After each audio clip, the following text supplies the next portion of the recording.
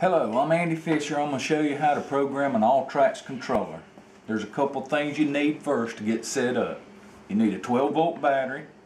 You need the controller, which has to be an AX controller from Alltrax, programmable. You got to have the cord to talk to the computer and a laptop. The reason you want a laptop is so you can monitor, you can actually install this in the golf cart and hook it up and drive the golf cart with your laptop and you can look at the parameters, you can change parameters.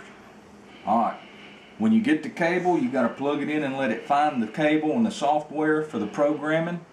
Then you go to the All Alltrax homepage and click on software. Software page will pull up two different downloads, either Build 39 for 20, 2006 or newer controllers, or Build 38 for controllers built for 2005.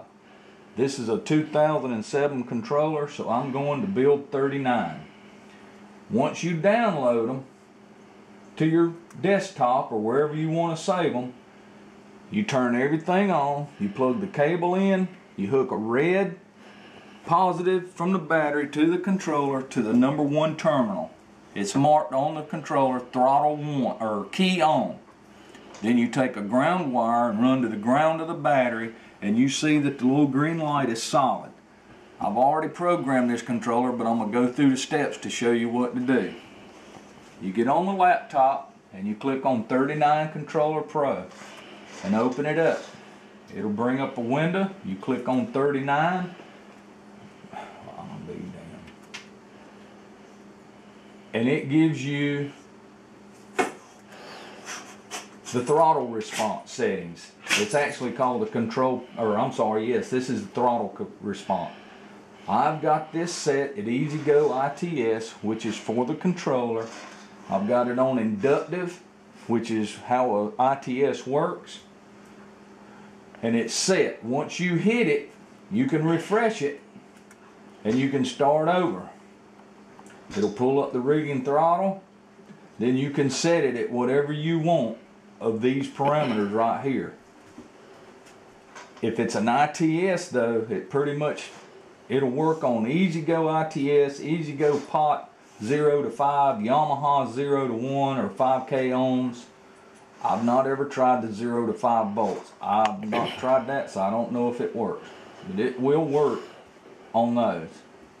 You can go to the control panel and you can set your max output current which is 100% under voltage this controller runs on 24 to 48 volts. I've got it set right above 24 volts to cut off if the voltage in your battery pack goes dead.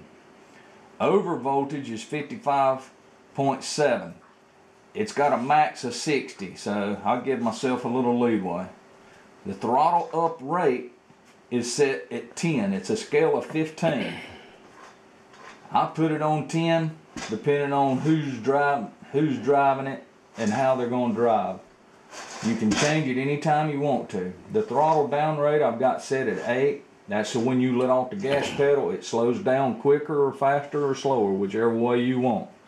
This one doesn't have a regen braking in it, so I don't put anything on it. It's zero. And I want top speed, so I've got it on fast.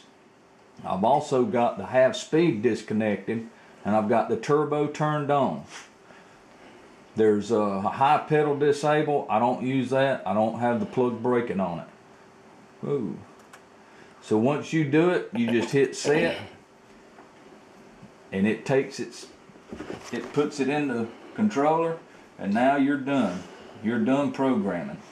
Now, once you're in the golf cart, you can come in and check all these and it'll check the throttle position, controller temperature, battery voltage, output current, battery current, and error flag. You can turn this on and put how many seconds you want it to watch it. And as long as you're driving your golf cart, it will monitor all this. You can even print it out when you get back and hook up to a printer. You can print the information out.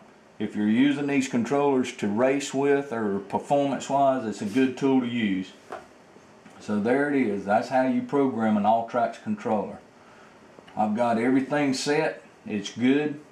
All you do is click off of it click out of it, Click off of that. And then all you do is just take the positive wire off of here. The green light goes out, disconnect it, take the cable loose, and you're done. The controller is set, it's ready to be put in the golf cart. You can also do all this in the golf cart if you want to. But I find it easier to do it here where it's easy to get to. Hope this helps somebody. Have a good day. Bye.